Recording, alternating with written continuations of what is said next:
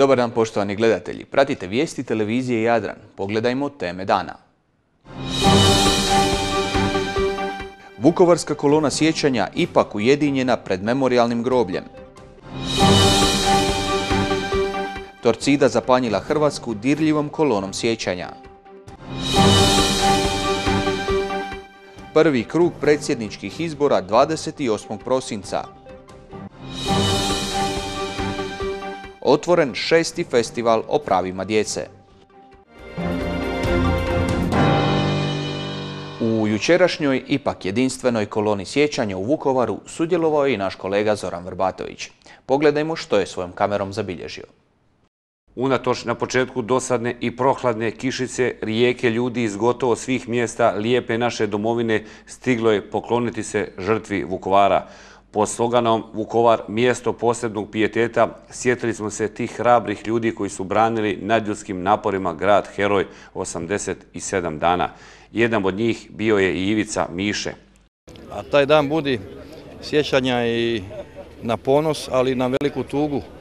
Tuga radi mojih prijatelja, suboraca koji su poginuli, koji su ostavili svoje živote za našu domovinu, a opet veliku radost i sjećanje što smo tu domovinu stvorili, što je imamo i što na taj dan vidim svoje preživjele suborce. U nijemoj tišini kretala se kolona sjećanja tom istom stazom kao prije 23 godine kada su srpski agresori iz zauzete bolnice odveli, mučili i na koncu svirepo ubili vukovarske branitelje. Stoji Hrvat do Hrvata, mi smo braća svi, kažu stihovi Thompsonove pjesve, a i ove godine hrvatski ratnici ujedinjeni zajedno, kao i ponosnih 90-ih. Prijateljstvo Splitske četvrte i Varadinske sedme gardijske brigade nastavljeno je danas, trajaće, kažu, vječno. Došli smo danas odati posebnu počast braniteljima grada Vukovara, svi koji su pogledali u domovinskom ratu. Današnji je dan, svi jedan pijatitet, ali to je malo, to bi trebalo više puta raditi kroz godinu, da se stvarno odate, se zna šta je grad, žrtva šta je Vukovar. Hvala. Gospodine Komodore, evo, kako danas poruku ovdje iz vječnog hrvatskog grada heroja šaljemo napaćenom hrvatskom narodu? Pa šaljemo poruku da su svi hrvatski branitelji zajedno, kao što vidite, svi veterani gardijskih brigada, svi hrvatski branitelji, svi hrvatski domoljubi, domoljubi danas u Vukovaru, da iskazuju pijetet žrtvi ovoga grada koji je ubijen u velikosrpskoj agresiji sa brojnim braniteljima i civilima, ali dok smo živi, mi žive i oni u nama. Hvala lijepo, predsjednik udruge četvrte gardijske brigade Božo Zado, tri puta ste ranjeni za našu jednu domovinu Hrvatsku. Nažalost, isti dan pala je, bolje rečeno, okupirana i Škabrnja i Vukovar. Četvrta brigada se podijelila, dio ovdje u Vukovaru, dio je mora odati počast i našoj Hrvatskoj Škabrnji. Tako je, veliki broj naših pripadnika četvrte gardijske brigade danas je u Škabrnji i odaje počast poginulim pripadnicima hrvatskog naroda. Danas se, kažu ljudi, opet više od stotinu tisuća ljudi, ali neka znaju branitelji hrvatski uvijek zajedno. Hrvatski branitelji još jednom pokazuju svoje jedinstvo. Mirko Martinjak, evo, Sjećamo se onih dana ponosa i slave kada je četvrta i sedma gardijska brigada ušla u Hrvatski kraljevski grad Knin, ali evo, četvrta, sedma brigada i sve ratne posebe naše domovine Hrvatske danas ovdje vječno i moraju to svi znati u vazda Hrvatskom Vukovaru. Pa svi smo mi ovdje došli se odati počast svim poginulim hrvatskim braniteljima, pogotovo braniteljima Vukovara koji su se borili za svoj grad herojski i trebamo odati jedan pijatet svi zajedno. Kaže pjesma Dalmacija je branila Slavoniju, Slavonija Dalmaciju, a ovdje svi opet zajedno. Ovdje svi zajedno, da. Nakon dvosatnog hodočašća kilometarska kolona je stigla do memorialnog Vukovarskog groblja, a molitvu je na početku predvodio Don Miljenko Babajić, župnik Župe Ston. Nakon kratke molitve za odrešenje grijeha poginulih hrvatskih vitezova koju je predvodio đakovački biskup Đuro Hranić, uslijedio je polaganje vijenaca i paljenje svijeća. Nakon što je delegacija državnog hrvatskog vrha odala počas, isto to su učinili i general Drago Lovrić sa suradnicima u čijem je sastavu bio i zaslanstvo ravnatelja naše policije. Iako teško narušenog zdravstvenog stanja, zapovjednik obrane grada Tomislav Mečev poklonio se svojim ratnicima. S njim je bio i Branko Borković, mladi jastreb, zadnji zapovjednik obrane grada Mučenika. Počast svojim sugrađanima je odao i današnji gradonačelnik Ivan Penava, kome je društvo činili predstavnici braniteljskih udruga grada. Odavanju počastu gradu heroju su nazočili i župani svih naših županija predvođeni domaćinom Božom Galićem. Izaslanstvo naše županije je predvodio Zlatko Ževrnja i Petrosav Sapunar sa najbližim suradnicima. Brojne su delegacije stigle i ove godine na obilježavanje Vukovarske tragedije. Na koncu je održano sveto misno slavlje koje je za mnoštvo vjernika i domoljuba predvodio Dubrovački biskup Mate Uzinić. Pozvao je Božiji pastir u svojoj propovedi Hrvatski narod na jedinstvo, međusobno uvažavanje, jer to je formula zajedničkog uspjeha. I baš, kako kaže pjesma, a i grafit na Splitskoj Vukovarskoj ulici, Vukovar stoji grad na braniku naše Hrvatske. Klub navijača Torcida organizirao je kolonu sjećanja na Vukovar. Povorka je prošla Vukovarskom ulicom, potom se zaustavila na Sučidru gdje je organiziran prigodni program.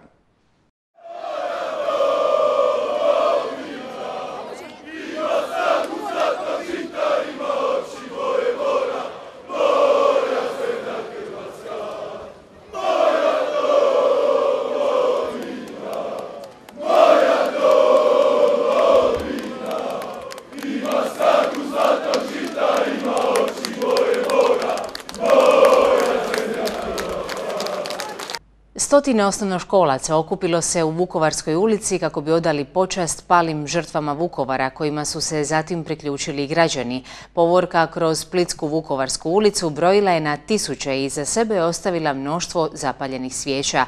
U nešto više od sat vremena Torcidina povorka je prošla od dna Vukovarske do križanja s Velebickom bez najmanjeg izgreda uz nekoliko zapaljenih bengalki u tišini, dok je policija osiguravala promet.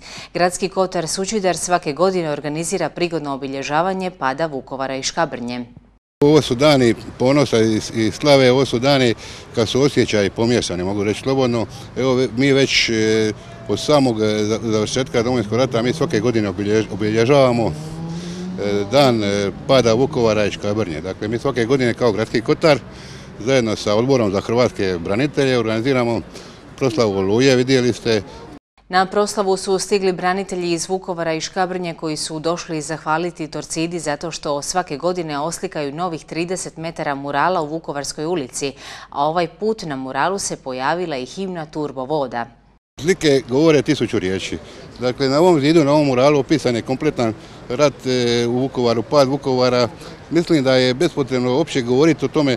Dakle, trebaju svi ljudi ovaj, večeras ili sutra ili kad stignu doći i lagano sa djecom prošetati i pročitati one murale, natpise.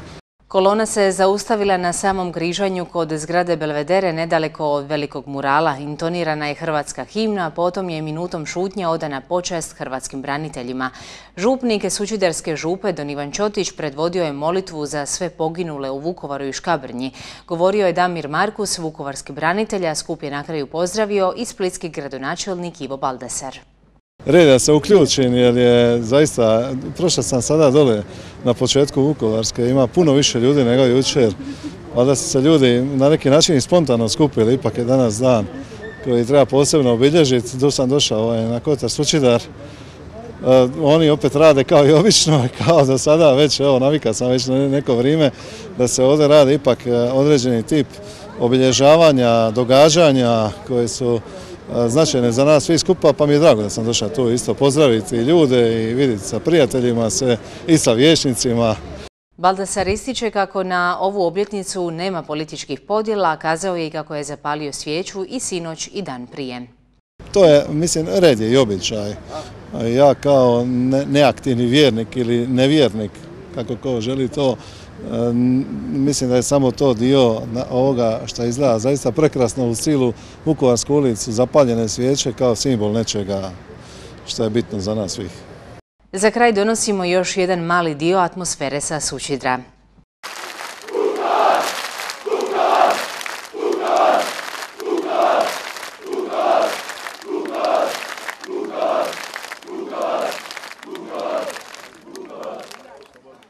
U znak sjećanja na dan pada Vukovara tradicionalno zapaljenim svijećama i kaštelani su odali počast žrtvama Vukovara i Škabrnje. Svijeće su najprije upaljene u ulici Vukovarskih heroja u Kaštel Sućurcu i u Vukovarskoj ulici u Kaštel Starom. Prije polaganja svijeća u Starome je održana sveta misa u crkvi Gospod Ružarija koju je predvodio Don Lovre Šola. Misi je nazočilo i zaslanstvo grada predvođeno gradonačelnikom Ivanom Udovičićem koji je potom zajedno s građanima upalio svijeću u Vukovarskoj ulici u Kaštel Starom. Zahvaljujemo svim onima koji su branili Škabrnu, koji su branili Vukovar, e, iskrena suću od svim žrtvama koje su stradile na ta dva mjesta. E, to su mjesta koji su simboli obrane Hrvatske od neprijatelja, mjesta stradanja, mjesta bezgranične ljubavi koju mi moramo gajiti i pokazivati našim generacijama. Iako su prošle 23 godine od pada Vukovara, mnogi koji tada nisu bili ni rođeni svjesni su značenja Vukovara i dolaze zapaliti svijeće. Postoje različite inicijative da se poseban program o domovinskom ratu uvede u osnovne škole, ističe gradonačelnik. U nekim mjestima je to zaživjelo, nastavit da to bude tako i u Kaštelima jer postoji e, branitelji koji su spremni odvojiti svoje vrijeme, koji su e, svjedoci tog vremena, koji su spremni doći u svaku školu, instituciju, pedagošku i odgojnu, e, pokazati kakva su to vremena bila, koliko je tada bilo teško e, uzeti e, sudbinu svoje države u svoje ruke, pa kad njima nije to bilo teško, kad su bili spremni ginuti, kad su stradanja za Hrvatsku ne mala, već velika, radi se o 15.000 žrtava, a onda ono što mi možemo omogućiti im da tu svoju to svoje stradanje, tu svoju ljubav prenose na naše generacije. Mjesni odbor Kaštar Sućurca za svoje sugrađane također je organizirao paljenje svijeća u ulici Vukovarskih heroja. Prije postavljanja svijeća služena je sveta misa u crkvi Svetog Jurija u Kaštel Sućurcu. Vukovara su se na upečatljiv način sjetili i imoćani nizom manifestacija diljem Imotske krajine. 23. obljetnica pada grada heroja Vukovara obilježena je s puno dostojanstva u mnogim mjestima Imotske krajine. Zapaljeno je na tisuće svijeća od Biorina do Slivna, u školama, crkvama, na ulicama i trgovima grada Imotskog. U organizaciji koordinacije udruga iz Domovinskog rata i Imotske osnovne škole svijeće su zapaljene na središnjem Imotskom trgu. Također, učenici Imotske gimnazije osnovne škole Stjepana Radića održali su prigodne programe posvećene Vukovarskoj tragediji. Pjesmom i recitacijama prenijeli su svoje osjećaje, upoznali svoje prijatelje s patnjama grada Vukovara. Ovdje izdvajamo također i mali poduhvat mladića iz Ciste Velike. Oni su naime nakon višednevnih priprema uspjeli na brdu iznad zaseoka Mandarići u Cisti Velikoj zapaliti velike svjetnjake s imenom Vukovara. A bilo nas je tu, koliko nas je bilo? 20. Ma bilo nas je tu desetak, 12 komada dečaka tu iz Ciste Velike. I radili smo pa danonoćno, dobro si rekao, i mukotrpno. Koliko dana ste radili? Pa radili smo jedno četiri dana, full dana, da to sve posličamo, šumu i... Znači, to je dužine 250 metara i visoko je 50 metara, tora je gori priko 80 metara. Ovim činom, kao i svim ostalim programima diljem Imotske krajine, Imoćani su još jednom pokazali poštovanje prema žrtvama Vukovara, gdje je nastradao i veliki broj imoćana, što civila, što onih koji su se dobrovoljno javili u obranu toga grada. Doznali smo napokon i službeni datum predsjedničkih izbora. Na iznenađenje mnogih, prvi krug održat će se u ovoj godini, 28. prosinca. Izbori za predsjednika Republike Hrvatske održat će se 28. prosinca, potvrđeno je u Hini iz vlade. Glasnogovornik vlade Nikola Jelić potvrdio je na upit Hine da će izbori zaista biti održani 28. prosinca, a formalnu odluku vlada će donijeti na sjednici u četvrtak. To znači da će drugi krug izbora, ako do njega dođe, biti 11. siječnja iduće godine. Kandidate za šeste po redu predsjedničke izbore mogu predlagati političke stranke registrirane u Hrvatskoj, jedna ili više političkih stranaka zajedno, kao i birači. Bez obzira na to tko predlaže predsjedničkog kandidata, on mora prikupiti najmanje 10.000 potpisa birača koji podržavaju njegovu kandidaturu. Svaki birač može svojim potpisom podržati samo jednog kandidata. Uz sadašnjeg predsjednika dr. Ivu Josipovića kandidature su do sada najavili Kolinda Grabar-Kitarović, Milanko Junđić, Ivan Grubišić, Anto Đapić i Ivan Rude. Splitski gradonačelnik Ivo Baldasar danas je upriličio prijem za posadu trajekta Tinujević, koja se herojstvom iskazala kada je po olujnom jugu iz Starigrada u Split prevezla trudnicu. Prije 15 dana Jadrolinijin trajekt Inujević u izvarednoj plovidbi prevezao trudnicu s Hvara u Split. Nacionalna središnjica za traganje i spašavanje na moru dobila je za 23 sata posredstvom centra 112 poziv za hitan medicinski transport trudnice s Hvara. Zbog olujnih udara juga prijevoz helikopterom nije bio moguć, a zbog nepovoljnih vremenskih uvjeta nisu mogli sploviti ni brodovi kapetanije, pa je angažiran trajekt Tinujević. Posadu broda u Banovini je primio gradonačelnik Ivo Baldas i pohvalio ovaj herojski potez. Mi smo ipak ljudi koji živimo na moru i od mora, isto kao i otočani. Tako da je ovaj, bitna stvar ovako sjetiti se ovoga. Ovo je bila, ovo je uvijek bila naša tradicija. Spašavanje ljudi sa otoka i spašavanje ljudi na moru je naša tradicija. Ja mislim da posada Jadrolinovog trajekta Tina Ujević na čelu sa kapetanom Kalevićem je najbolji dokaz za to. Ali to ovako izgleda njima jednostavno i sa strane jednostavno, međutim trebate zaista imati uvježbanu posadu sa iskustvom da se isplovi po mrklom mraku, u olujno jugo, sa morem koje je bilo negdje između 6 i 7 i tako dalje da vam ne pričam. Jadroliniju smo dobili u Dotu i tu tvrtku moramo sačuvati, rekao je Baldasar, a kapetan koji je zapovjedao brodom za vrijeme isplovljavanja bio je Andro Kalebić, koji nam je opisao prve minute nakon dojave. Bilo je grubo vrijeme, vezali smo se baš ono utvrdo i računali smo, ajde da jutra ćemo sad mirni, međutim, gospodin Ante Mrvica zazvonija, kad je običajno s mobitelom i više nije bilo priče. Ljudi su svaka čast posadi broda koja je reagirala sekundu je to sve krenilo, bez riči, bez zapovjedi, bez ičega, uglavnom brod je bio za 10 minuta spreman. Svi brodovi Jadrolinije su spremni. Posada je uvijek na raspolaganju sa svojim znanjem i iskustvom, dodaje kapetan Kalebić, a Ante Mrvica ističe kako je najvažnije u hitnim trenucima brzo reagirati, posebno kad poziv stiže u kasne noćne sate. Znači vidite nakon poziva jedan od dva ide pol noća kad su objasnili čemu se radi i kontaktiramo direktno liječnik iz Jerce koji je vodio i on je rekao da je stvarno da se radi o vrlo hitnom slučaju kontaktirao sam brod nemaš koga nama druga više pitati. Mi smo rekli, ok, mi smo spremni, pošaljite pacijenticu i evo brod isplovija, organizirate prihvat ovdje u Luci, oni su organizirali druga kola prve pomoći, tako da jednostavno brod je za sat i 50 došao tu u Split. Slična se stvar dogodila i krajem studenog prošle godine kada je posada Tina Ujevića na čelu s kapetanom Androm Kalebićem po olujnoj buri isplovila s kako bi srčanog bolesnika prevezli do Splita. Ljeti su česte intervencije kad su požari u pitanju. Čestitke hrabroj posadi koja će i dalje nastaviti spašavati živote ljudi na dalmatinskim otocima. Splitsko-dalmatinski župan Zlatko Ževrnja organizirao je radni sastanak s Vlastom Bunačić-Kutecki, voditeljicom novog znanstvenog centra izvrsnosti za znanost i tehnologiju. U Ministarstvu znanosti, obrazovanja i sporta prije desetak dana održana je sjednica Nacionalnog vijeća za znanost, visoko obrazovanje i tehnološki razvoj, na kojoj je ministar Vedran Mornar proglasio sedam znanstvenih centara izvrsnosti. Među proglašenih sedam centara dva su u području prirodnih znanosti. Znanstveni centar izvrsnosti za napredne materijale i senzore, zajednički centar Instituta Ruđera Boškovića i Instituta za fiziku i znanstveni centar izvrsnosti za znanost i tehnologiju koji će voditi voditi vlasta Bonačić-Kutecki sa Splitskog sveučilišta koji je u radni posjet primio Splitsko-dalmatinski župan. Ministarstvo znanosti prije nekoliko dana dodijelilo je znači, jednom odlukom da se u Splitu, odnosno Splitskom sveučilištu, može, odnosno da se utemeljuje centar izvrsnosti za znanost i tehnologiju, skraćeno s tim i evo tom činjenicom e, naš, naše sveučilište i županija se svrstava na tu jednu europsku mrežu e, visoko istraživačkih institucija. E, posebno dijelimo to zadovoljstvo što je županija svake godine za ovaj ured gdje je djelovala gospođa Vlasta Kuteski sa svojim suradnicima. Svake godine smo ulagali oko 120 tisuća kuna do sad je uloženo nešto više od pola milijuna kuna sredstava, dodaje Župan napominjući kako je spomenuto ulaganje iskorišteno na najbolji mogući način.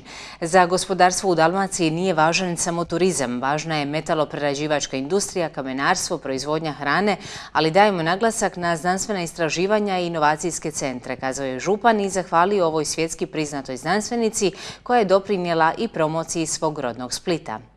I cijela ideja je povezati inovaciju, istraživanje i obrazovanje, ali i obrazovanje u smislu povezanosti akademskog svijeta sa e, sa poduzetničkim svijetom kako bi se mogla vrhunska edukacija i znanstveni rad povezati na taj način da mladi doktoranti i oni koji su završili svoju, svoje obrazovanje unutar ovoga centra mogu, mogu pridonijeti poduzetništvu ili svojim vlastitim firmama.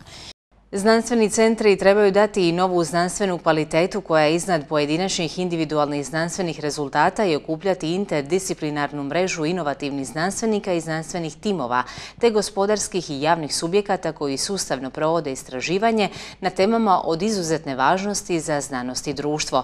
Znanstvenica je pojasnila važnost proučavanja nanočestica koje se mogu upotrebljavati za biosenzoriku u medicini. Nanočestice su vam mali sistemi koji imaju u, na maloj nanoskali imaju oko 50 ili 100 atoma. Ako su to metali, metali e, jako dobro apsorbiraju i emitiraju svjetlost i onda se oni mogu upotrebljavati za e, pronalaženje, diagnostičko pronalaženje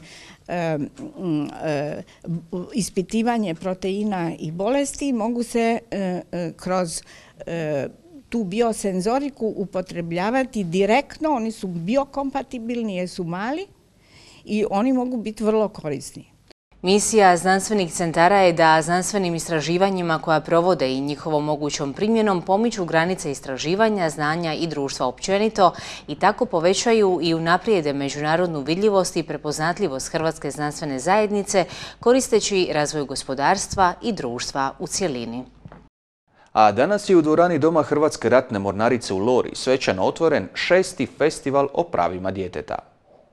Danas je domom Hrvatske ratne mornarice u Lori odzvanjao dječji smijeh. Svečano je otvoren šesti festival o pravima djece. Cilj festivala je promicanje dječjih prava kroz stvaralaštvo djece i odraslih, najvećim dijelom kroz filmsku umjetnost različitih žanrova. Održava se od 17. do 22. studenog u Zagrebu i Splitu. Gradu domaćinu i pokrovitelju festivala Zagrebu pridružio se ove godine grad partner Split. Novo izdanje festivala predstavlja značajan programski i produkcijski pomak, s obzirom na to da će se raznovrstan međunarodni program događati istovremeno u dva najveća hrvatska grada, a ovogodišnja zemlja partner je i Bosna i Hercegovina. Fokus ovogodišnjeg izdanja jest nasilje nad djecom. Danas nas očekuje svečano otvaranje, prvo predstava Srce na sceni i kratki filmovi, izbor kratkih filmova iz Bosne i Hercegovine i Hrvatske, a ovih dana nadalje nas očekuje stvaralaštvo djece i mladih, prioritetno filmsko stvaralaštvo, osnovnoškolaca i srednjoškolaca, u kinima Sinestar u deset gradova Hrvatske, a u večernjim terminima istovremeno u kinu Tuškanac u Zagrebu i kinu Karaman u Splitu, večernji program, najvažnija ostvarenja, međunarodna filmska ostvarenja iz područja prava djece i mladih. U ime grada Splita festival je podržala gradonačelnikova savjetnica Anđelka Visković, a veliku ulogu naravno imao je i novotvoreni splitski ured UNICEF-a. Pa naša istraživanja pokazuju recimo da je svako peto dijete e, na neki način osjetilo nasilje na vlastitoj koži. To pokazuju statistike, mi se bojimo da su one još i veće. Znači, to je problem koji svakako postoji. To je problem koji vrlo često, od kojeg vrlo često okrećemo glavu, nastojimo nekako se praviti da je to sve normalno. I djeca e, često ne prepoznaju e, vlastite aktivnosti kao zlostavljanje. Pa recimo e, istih razgovora s njima smo primijetili da često poruke koje ostave na Facebooku nekom, neko podrugivanje, vrijeđanje ne doživljavaju zapravo kao e, nasilje. Tek kad spoznaju kakve to posljedice ostavlja na njihovi kolege, shvate zapravo što to znači, odnosno da ugrožavaju prava nekog drugog djeteta. To je jedna od važnih poruka ovog festivala. Nasilje nad djecom problem je svakog društva, a odgovornost starijih je zaštititi one najmlađe. Djeca isto tako ne znaju uvijek prepoznati nasilje i to je jako važno ih je educirati o nasilju i o različitim oblicima nasilja i o tome kome se mogu i trebaju obratiti kada im se tako nešto dogodi. Mi uvijek ističemo da je najvažnije da se obrate odrasloj osobi u kojoj imaju povjerenja. Da li je to nastavnik, da li je to roditelj, da je to neko od obitelji, a tu je naravno i e, pravobraniteljica za djecu koja također ima ured, u Splitu koja zaprima slučajeve djece e, kojima su prekršena prava. Centralni događaj svečanog otvaranja bio je muzikl Srce na sceni u izvedbi Udruge Srce, koji je režirao glumac Slavko Sobin. To je projekt koji su osmislili u Udruzi Srce, odnosno oni su došli na ideju da se taj projekt napravi. Onda su zvali mene da napišem scenarij i to režiram i to je trajao proces nekih šest mjeseci u kojem su oni, zapravo mladi iz udruge Srce, bili puno angažiraniji od mene, malo se sa mnom mučili dok sam to sve složio. riječ je o predstavi koja ima pravu formu predstave u kojoj imamo dvije obitelji, bogatu siromašnu, intrige, prevare i to. Međutim, u samoj predstavi se priča o tome kako je ta predstava uopće nastala.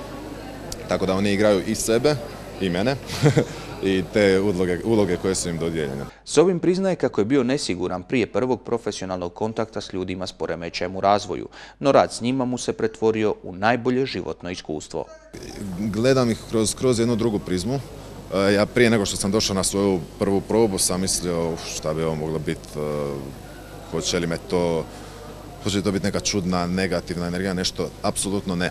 Znači, e, ja sam došao raditi s njima, oni su, to su mladi sa 20 godina, 30 godina, znači s kojima se cijeli život radi. Udruga Srce savršeno obavlja svoj posao, sve poteškoće koje imaju od financiranja do, do, do broja ljudi koji rade. Oni su tu djecu toliko, te mlade odgojili, imaju terapije kuglanjem, jahanjem, pjevanjem. Mislim, to je grupa ljudi koja savršeno funkcionira. E, vrijedni su, ambiciozni su, ponavljam, i nikad mi u životu nije s nekim bilo lakše raditi nego sad.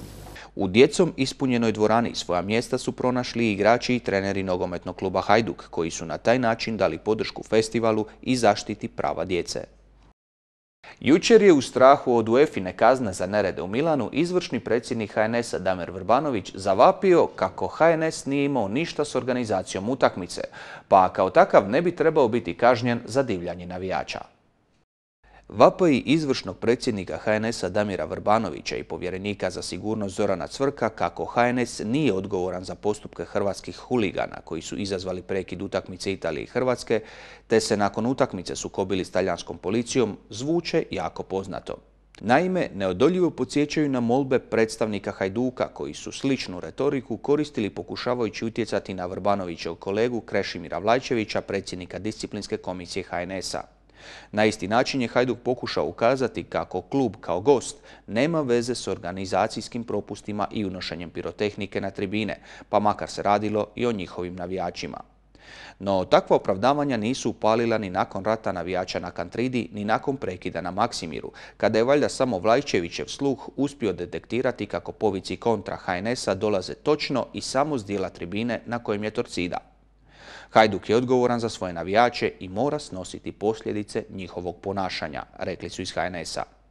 Nakon posljednjeg izgreda u Zadru, Hajduk je opet kažnjen utakmicom pred praznim tribinama. Žalba nema smisla, rekao je Hajdukov predsjednik Marin Brbić. To je samo trošak, a ishod je poznat. U međuvremenu je hrvatska reprezentacija doživjela isti udarac grupe huligana, pa su shvatili kako oni zato ipak nisu krivi. E pa onda se Hajduk dosjetio da, kad je već vrh Saveza spoznao novi osjećaj za pravicu i krivicu, ipak uputi žalbu disciplinskoj komisiji. Jer ako HNS nije kriv za izgrede u Milanu, istom logikom ni Hajduk ne bi trebao biti kriv za izgrede u Zadru. Možda će Brbić krenuti korak dalje pa zatražiti povrat uplaćenih kazni zbog spomenutih incidenata na Kantridi i Maksimiru. Vrbanović strepi od rigorozne disciplinske kazne Europske nogometne organizacije. Spominju se utakmice bez gledatelja, oduzimanje boda, a neki idu čak toliko daleko da spominju izbacivanje iz kvalifikacija. Ako Albanci i Srbi nisu eliminirani iz nastavka natjecanja u utakmici koja nije dovedena do kraja, neće biti ni Hrvati. Vrbanović je zabrinut i za ljagu koja se baca na hrvatsku reprezentaciju, kako on kaže, najveći brend koji imamo. Čudno, to isto nije bio problem kada se naciju uvjeravalo kako su razni Samiri, Antolići, Pivarići, reprezentativni kalibar, a reprezentacija prosipala ugled protiv nedoraslih protivnika. No problem je puno veći od nekoliko bačenih bengalki i neugode na licu Davora Šukera. Problem je što ekstremni dio navijača, kako klubskih, tako i reprezentativnih, u neprihvatljivim i nedopustivim neredima na tribinama vidi jedini preostali vid borbe protiv samovolje i monopola Zdravka Mamića i njegovih podanika. Nakon svakog navijačkog izgreda Hrvati počinju zazivati ime Margaret Thatcher, koja je nakon tragedije u Heyselu primirila najzloglasnije europske huligane Engleze, bar kada su u pitanju domaći stadioni. Zaista, Thatcher je zavela red i njene metode rigoroznih i ekspresnih kazni su upalile. Međutim, spominjući engleski slučaj, problem se gleda jednodimenzionalno. Nitko se ne pita kako je red zaveden u Engleskom nogometnom savezu. Tamo nema Mamića, jer oni koji vedre i oblače u klubovima su privatni vlasnici koji su vlastitim novcem kupili klub, državi platili milijarde poreza i obveza da bi kupili pravo na potpuno šefovanje. U Engleskoj nema dinama i lokomotive, klubova s identičnom vlasničkom strukturom i mutnim međusobnim prepuštanjima igrača. Tamo jedan član saveza, koji bi trebao biti ravnopravan ostalima, ne može smijeniti izbornika samostalno u zrakoplovu. Tamo nema sudaca koji piju i pjevaju s igračima jednog kluba u zvuke tamburice. Tamo nema zviždača kojima se javno prijeti i koji padnu u medijsku anonimnost i društvenu osudu, dok oni koje su otkrili slobodno šeću izigravaju junake. Da, primijenimo engleski poučak na navijače, ali ga prije toga primijenimo na vrh saveza. Riba smrdi od glave. Kada se to sredi, onda se možda i navijači primire. Pogledajmo još jednom teme dana.